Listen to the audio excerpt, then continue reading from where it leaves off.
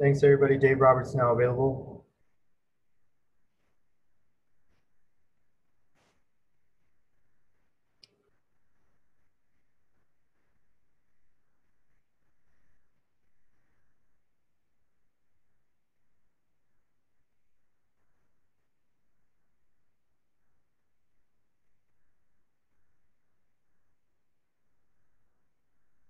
First questions from Alana Rizzo. Go ahead, Alana. Dave, how much was the fact that there is a three batter minimum, in addition to the fact that a lot of your left handers can get both left and right guys out, leading to the um, subtraction of Adam Kolarek when you had to trim the rosters?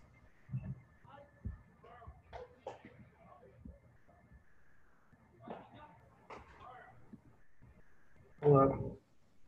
Sorry, Alana, we're having some technical difficulties.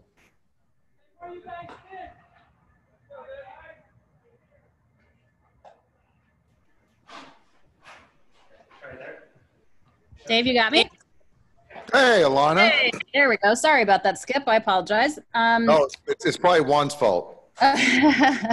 um, how much of the fact that so many of your left-handers in your bullpen can get lefties and righties out kind of led to the fact that you had to uh, option Kolarek when rosters trimmed? Yeah, um, uh, uh, that certainly played a, a big part. Um, you know, Adam is a guy that has pitched really big innings, got big outs for us, especially in the postseason last year. And to make that decision was very difficult. Um, you know, I, I, think that, you know, he, he's been good for us up to this point. Uh, we've been, we've challenged him on, on getting more right-handers this year. And I think early on we were trying to get his arm up to get the right-handers and then down below to get the lefties. And um, it, it little bit affected his uh, c- uh, command from down below. So I think that going to SC, now we're going to try to get him to stay down below, verse left, verse right, and have him have a more consistent throw, and um, hopefully get him back here soon. Um, but we certainly see its value and love everything about him. But right now, having the guys that do get both has given us a, a little bit of runway. Does the trimming of the roster to 28 um, adversely affect you in any way other than not being able to obviously to have that extra arm or Zach McKinstry coming off the bench? Um, no, you know, obviously it, it, certainly doesn't allow for as many options, but I, I do think that getting it down to 28 gives us more semblance of, of the strategy, uh, the baseball sense as far as not having uh, endless means or, or, players at your disposal. Um, so I, I, love our 28, but you, you know, you see guys that unfortunately are the casualties where, you know, Adam was one of them right now. So hopefully we'll get him back.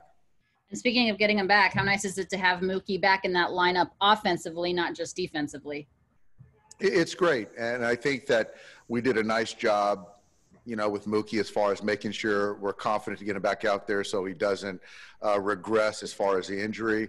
Uh, training staff has done a fantastic job getting him back to health, and Mookie obviously is a very good patient and eager to get back. So yeah, to get him back in the lineup and not just as a defense replacement certainly makes us better. Uh, one more for me, Dave. With Edwin Rios there at third base for the start today, um, as I sit here right now, he was just taking more reps at third base, ground balls. How, how have you seen him defensively improve, particularly at the hot corner? I, I see um, you know, number one, his body has transformed. Um, he's done a great job of really leaning out and he's still maintaining his strength. The footwork, much more agile, the lateral movement, uh, the hand, the glove work has considerably uh, improved. A couple grades for me. Um, the ball just stays in the glove and uh, the forehand, backhand, and lastly, the arm strength and accuracy. All that has improved. So I think that, and I've said it before, is I think, you know, you look back from spring training, the first one we had, to now, he, he's probably the most overall improved player uh, we have, and um, you know, I'm really proud of Eddie. Okay, thank you for your time. Yep. Next question from Eric Stephen. Go ahead, Eric. Hi, Dave. Um, you you guys had um, Donovan Solano as an NRI a couple years ago, and he was in the minors. Um, what have you seen from him? Uh, the, like he hit really well with the Giants last year. Obviously, he's up to a great start. Uh, what have you seen from him so far this year? Well, I think uh, Eric, um, I really enjoyed our time with with Donovan, and and uh, from the break last year, I think I read somewhere that he has the most hits or has the highest average from last All Star break to to now. And you know, he's a baseball player. He's a guy that loves to play the game. Um, I remember being in front of him, being in front of our guys in spring training, and just talked about gratitude and how grateful he was to be in a big league camp. And so he was a guy that just needed an opportunity. Um, and he'll play anywhere. He can catch the baseball. He watches baseball. He studies it.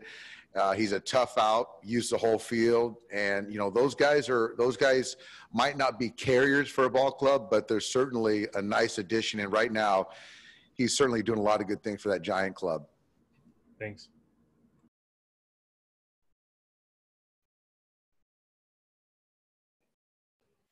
Go ahead, Jorge. Uh, Dave, just with Mookie, um, what gave you guys the confidence that you can go out there and swing a bat and play a game about nine innings over the last couple days? What changed? Um, just, just uh, Wednesday, him, his work in Wednesday, swinging the bat in the cage. Um, yesterday, getting treatment, and um, going back and forth with Neil Rampe, and just getting the confidence that he woke up today feeling, feeling really good. So I think that those kind of factors led to the decision to get him going tonight. And just you mentioned Rios being super improved and getting him to start at third base. Have you guys decided that you guys make, need to make a concerted effort to give him starts and more at bats? Um, yeah, and that's because you know he's earned them.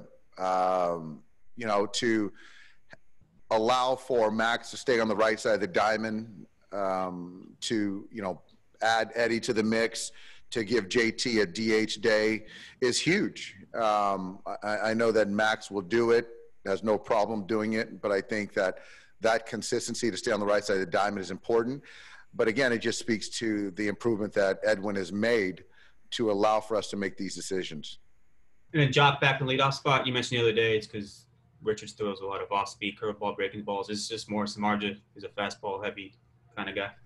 Yeah, and and it's it's more of you know obviously you know Max hasn't been seeing the baseball well, so you give him a different look. Uh, Joc has hit in the leadoff spot many times over, so he's comfortable there. Uh, I love the matchup, and and yeah, you know Joc has always been very good against right-handed pitching, regardless. So, um, you know, I just felt that this is a good spot to get him three cracks at Samardzija. Thank you. I have a question from Ken Gurnick. Go ahead, Ken. Dave, you, you dropped Muncy down in the lineup. What, what are you seeing with him? Uh, he had one or two brief spells kind of similar to this in the past, but he's come out of it pretty quick. This time it doesn't look like it. What are you What are you seeing? Um, you know, I, I think. Uh, well, number one, I, I, like the way he's still taking walks, and uh, there's still some slug in there. Um, I think that you know when Max, you know, goes right center to left center. Um, he's a considerably better hitter. Um, I, I, think he's getting a heavy dose and it started in Arizona of the breaking balls and, uh, you know, releasing the barrel, putting it on the ground. So I think that he's working real hard. He'll get through it. But, um, you know, like I told Jorge, it's just a, a, sense of giving him a different look, letting the game come to him a little bit. And, um, you know, I expect guys to be on base tonight and expect them to come through. Thanks. We got one final question from JP Hoornstra. Go ahead, JP.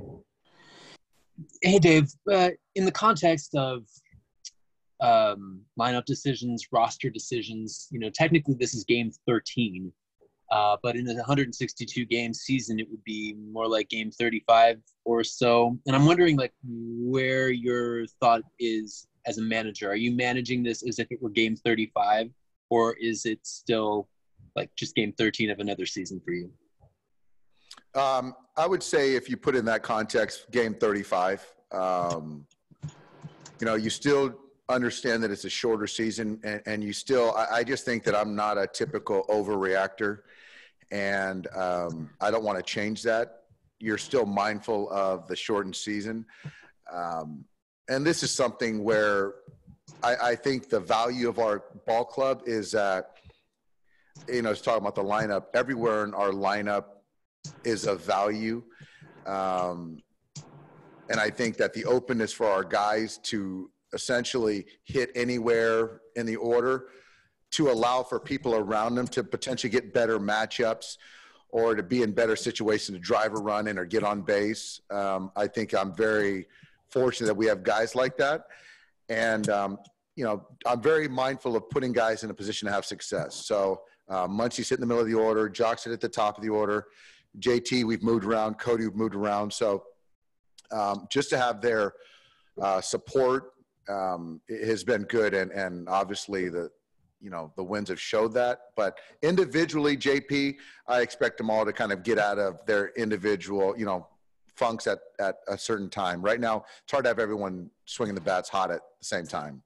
Yeah, not necessarily with Max specifically, but just generally, eh, have you found yourself having more conversations with players to explain things? Because a player could come back to you and say, you know, it's been a tough 50 at bats, but it's still early. Meanwhile, you know, you're managing like it's game 35. Any tension there at all? No, no, not at all. I, I think that, you know, regardless of a regular season or, or this season, I have conversation with these guys every day. And I think, you know, it's important for them to realize what I'm thinking, the coaching staff, the organization. Um, so yeah, there's certainly no tension and we're all here to win baseball games and, you know, each particular night um, is its own game and, and that's our only focus. Thank you. Yep. Thanks, Dave. Thanks, everybody. Thanks guys.